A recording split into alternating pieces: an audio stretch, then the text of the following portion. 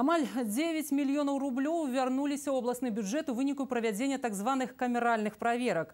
Гэта калі ў адпаведнасці з законам кантралюючыя органы знаходзяць нявыплаты ці недаплаты ў бізнес-біяграфіі і даюць парушальніку 10 дзён на выпраўленне сітуацыі.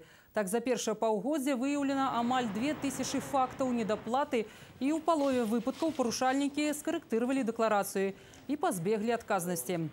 Самі спецыялісты падатковай службы адзначаюць, што большасць памылак выкліканы чалавечым фактарам, няўважлівасцю.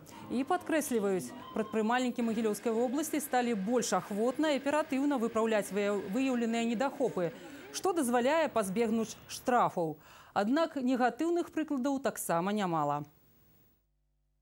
В этом году э, у нас есть несколько примеров, где налоги э, отражались не в полном объеме и уплаты составляли э, по одному плательщику. У нас было 100 миллионов налогов, пришлось ему доплатить, потому что была занижена налоговая база и, соответственно, все вытекающие из этого последствия.